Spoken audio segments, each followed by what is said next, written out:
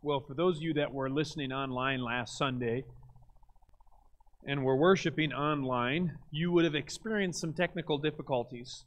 And so I find the message so important of what we talked about on Sunday that I want to give you just a short version of what it was that we discussed so that you could either begin or finish the sermon that unfortunately cut out. We appreciate your patience as we are learning a lot of things on the live stream.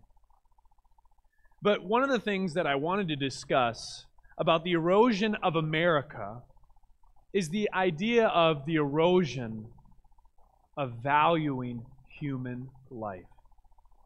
There's a lot that's going on in our culture. There's a lot that's going on in our world. Talking about which lives matter, certain lives matter, are certain people left out. But let me tell you something. The lives of unborn American citizens are being slaughtered by the thousands. I recently read a little book advocating for a pro life position that was written in 1985. And the author said, We're up to 17 million babies that have been destroyed and murdered in the womb. You know what's sad is? We're up to 60 million babies that have been destroyed, murdered, cast aside in the womb. At one time in history, the womb was the most safe place one could be. But now we live in a world where it matters whether you're born in a state like Alabama or you're born in a state like New York that says abortion is okay, acceptable, murder is okay, all the way to the point that the mother would be driving to the hospital to have the baby. And so, as I am so impassioned about this, I became recently even more so, and I know that the Lord helped me and used it in my life I finally watched the movie Unplanned, which is the story, the true story of Abby Johnson, who is a former Planned Parenthood director.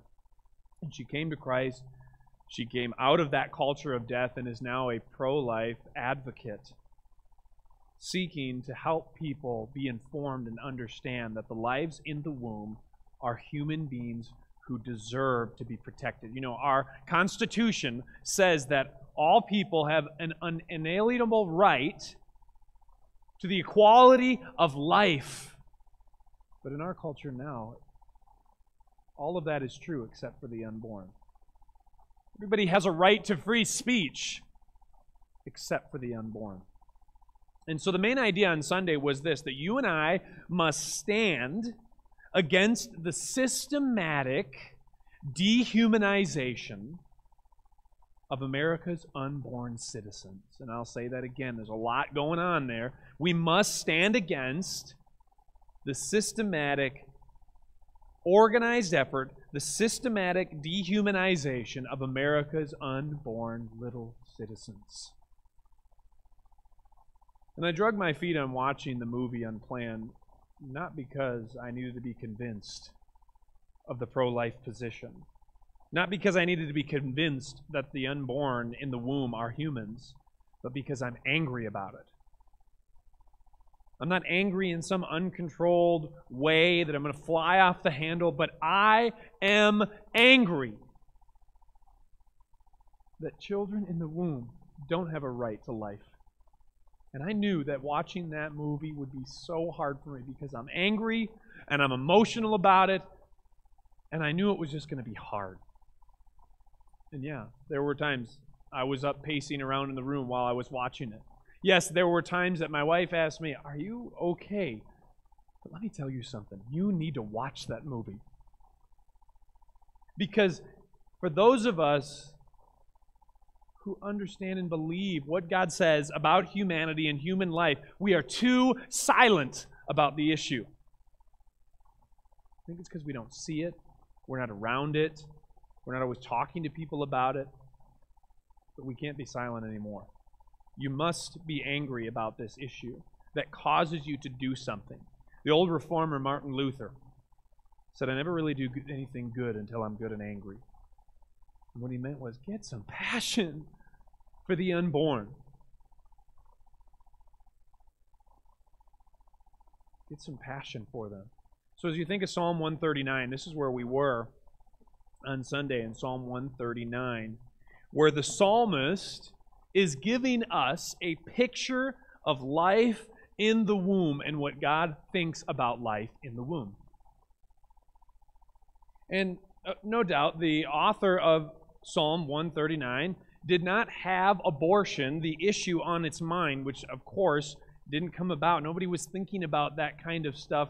The, the technology and all the things that are in place of this culture of death were not in place at this time. But yet, the psalmist is giving us some high theology, but he's given it us in the context of a relationship he has with God. A relationship that is so deep that even in the womb, God was there with him. So, Psalm 139, we jump into the context where he's talking about God's omniscience and his omnipotence and his omnipresence, that no matter where I am, God is with me. And he cares about every one of these little unborn children. And he says in Psalm 139, verse 13, You formed my inward parts, you knitted me together in my mother's womb. I praise you, for I am fearfully and wonderfully made. Wonderful are your works. My soul knows it very well. Verse 15 My frame was not hidden from you when I was being made in secret, intricately woven in the depths of the earth. Your eyes saw my unformed substance.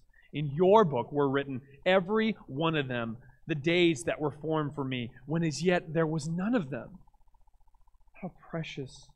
Verse 17, how precious to me are your thoughts, O God. How vast is the sum of them.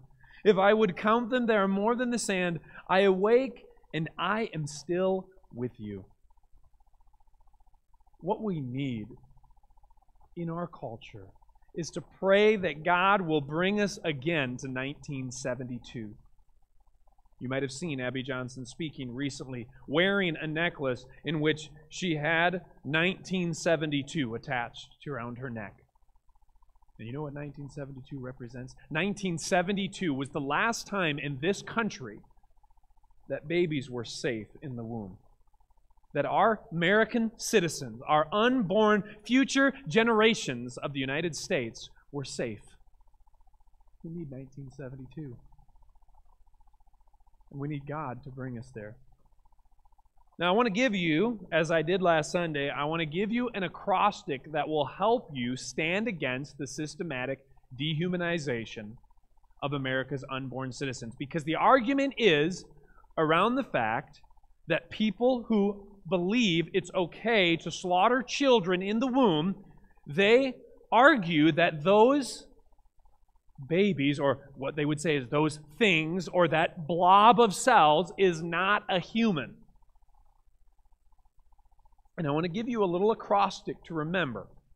And it's in the acrostic of the word sled S L E D, sled. And each one of these represents a way in which people try to argue that the unborn are not human, but you will see as we walk through this acrostic that that argument and that logic falls flat on its face. Because if it can be proven that the unborn are human beings, not only from God's Word, as we clearly have seen, but also just clearly from an understanding of logic and reason, that it is absolutely wrong, sinful, murder to kill our American citizens. A lot of discussion about citizens, a lot of discussion in our culture about immigrants and people coming to this nation. We are a nation of immigrants. But can't we get back to being a nation of our own children? God, help us. So the acrostic sled, first letter is S. And S stands for size.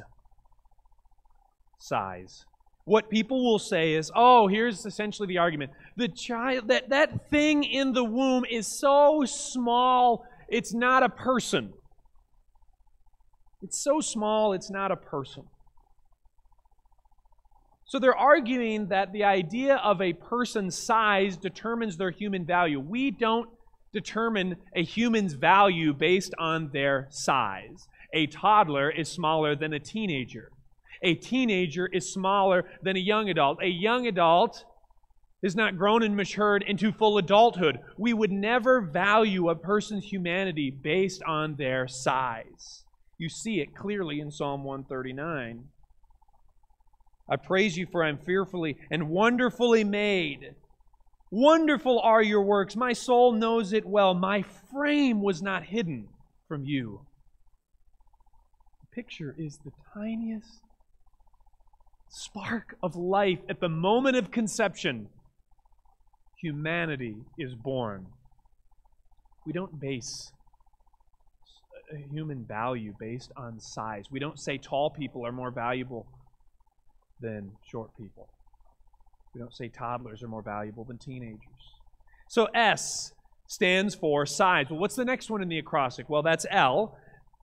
And L stands for level of development. So the argument that people will say is, but that thing in the womb has not developed into either looking like a human or being able to exercise human capabilities. Therefore, it is not a human. But again, that argument falls flat on its face because we do not base the value of a human based on their developmental skills. My little child, who's almost a year old, can't talk very well. Says mama, dad, dad, mostly mom, and lets you know when he's hungry. He hasn't developed these skills. He's He's developing the skills of learning how to grip things and hold on to things and stand up and take steps. Would we ever say that my little child is not fully human? He's not a human. His value is based on how well he's developed. We would never say that. A toddler is not as developed as a teenager. So it doesn't matter if the child in the womb is not fully developed into exercising the capabilities of, full, of a full grown adult. We don't base the value of a human being based on how well they've developed. If you take that logic and you go to the end of life, would we then say that a person at the end of life who is struggling with Alzheimer's, maybe they maybe they're struggling and they're in a vegetable state or they're not breathing on their own, would we say that they're not human? No, we would they don't they don't we would never say they have had their humanity and then they lost their humanity. So size, we don't base the value of a human being on size. L is level of development. We don't base human value on the level of development that a person is in. E is environment. So the argument, so this is E, We've seen size, we've seen level of development. Now we're on E, which is environment. And the argument is basically this well, because that child is in the womb, it's a part of the mother's body, therefore, it's kind of like an appendix. The mother can decide whether she wants that or not. The baby's in a totally different environment. We don't base the value of a human being on what environment they may or may not be in. I mean, this is a really kind of silly example, but it, the logic rings true. Just because someone is in outer space in a completely radical environment does not make them any less human. Just because when they were on the moon and took the first steps and the giant leap for mankind, we wouldn't say that they became less human because they were in a different environment. Just because a child in the womb practices breathing by breathing in and out the amniotic fluid, although they've not breathing in actual oxygen, we, we would never say that child is not a human just because it's in the environment of the womb. A seven inch trip to the outer world doesn't all of a sudden magically make a baby a human being. In the psalmist when you think of uh, how far we've already come, size and level of development and environment, that's what he's talking about here. Size, level of development, environment. Verse 13, you formed my inward parts. You knit me together in my mother's womb. You get a close up on the skin, it really just looks like woven fabric, back and forth, back and forth. I was being made in secret, intricately woven in the depths of the earth. And I said this on Sunday, and I'll say it again.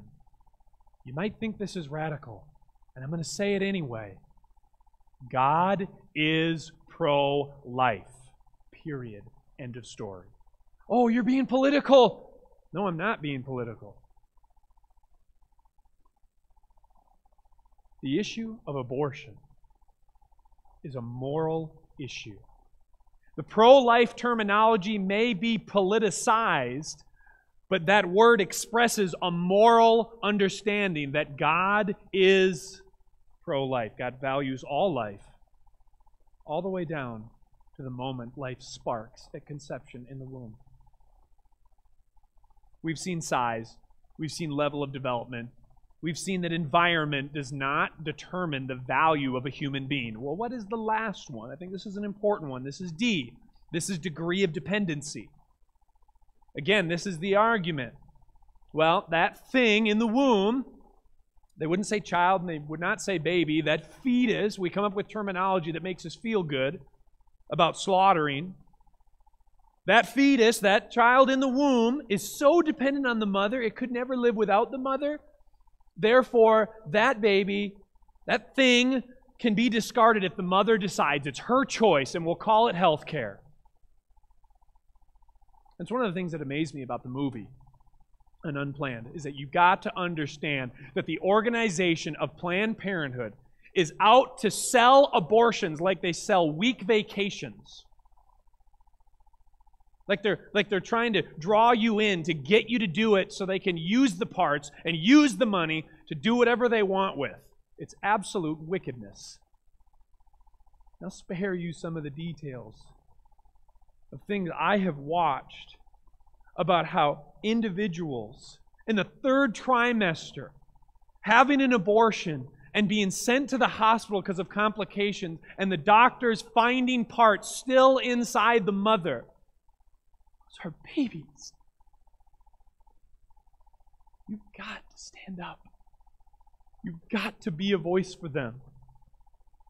We can be silent no more.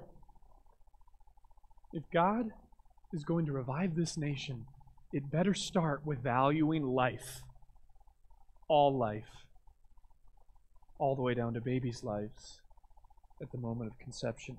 So the argument is that the, the baby's so dependent on the mother, it can't be human. But you realize that logic, again, falls flat on its face. Because there are times that all of us are dependent on another human being or life in our lives. My little, almost one year old Aaron will crawl up to me, grab, if I stay in one spot, he'll, he'll grab onto my leg, he'll pull himself up, and he'll just look up at me and yell. And I know that particular yell, that particular noise is, He is hungry. But you know, if I or my wife were to just simply say, you know what? You're not really human unless you can completely depend on yourself my little child wouldn't survive.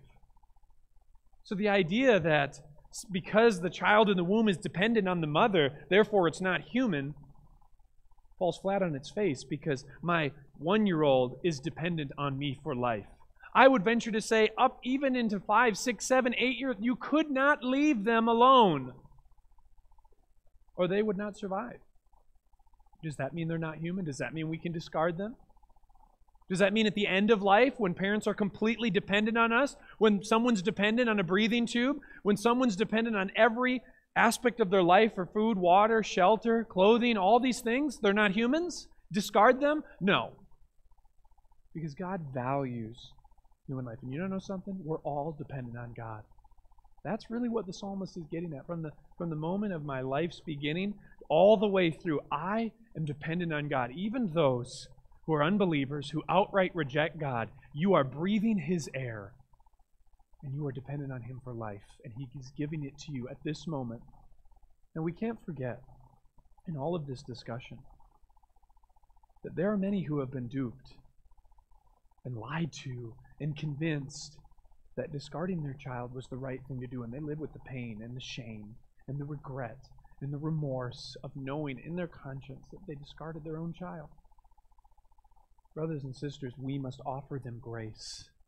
We must be ready to open arms to realize that we must be sharing the gospel and giving hope that there is forgiveness for the sin of abortion. There is forgiveness at the foot of the cross.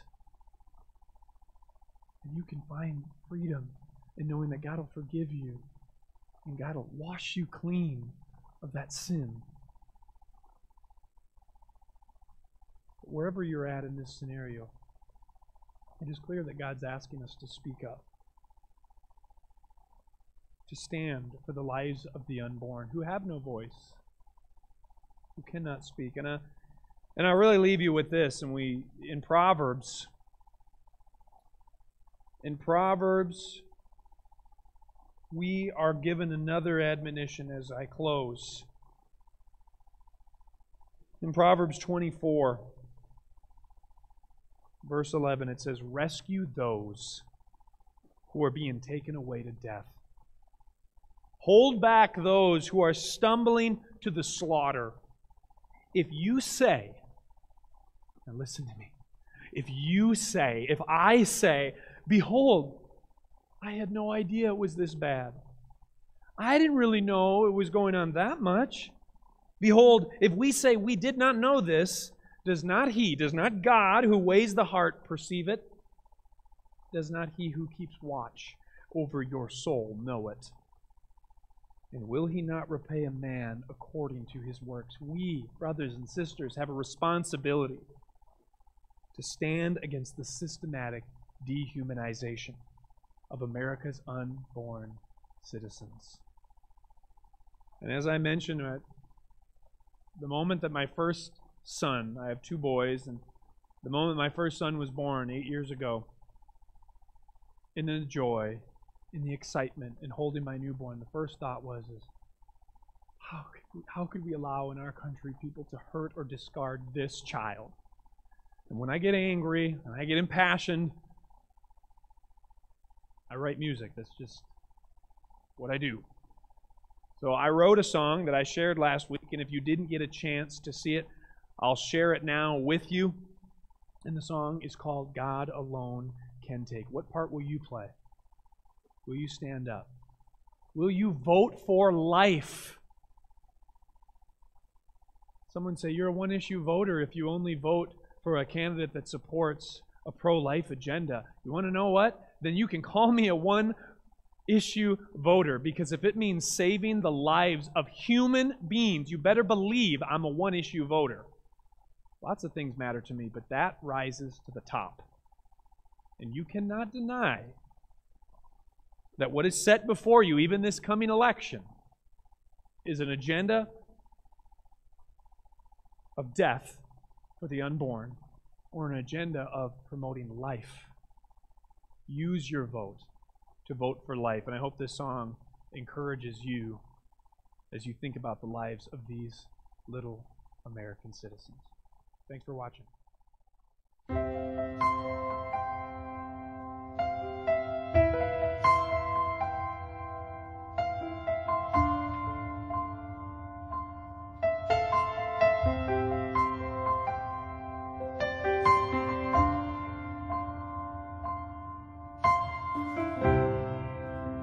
no joyful news.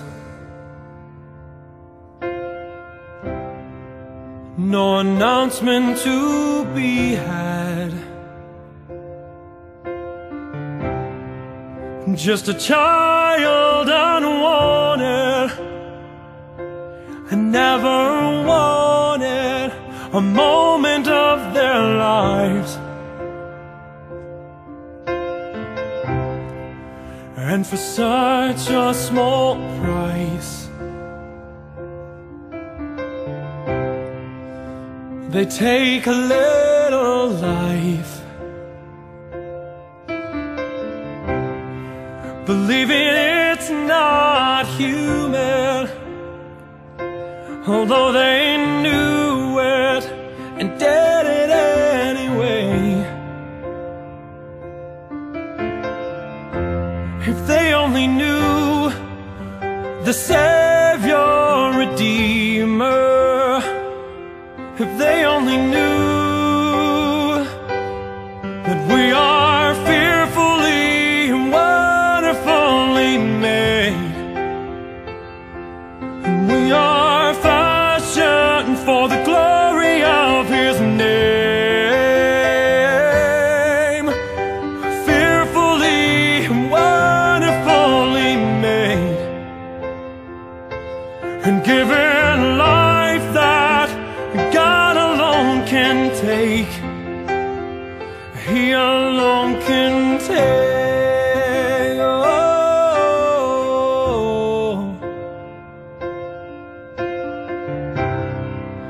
And these children had no voice.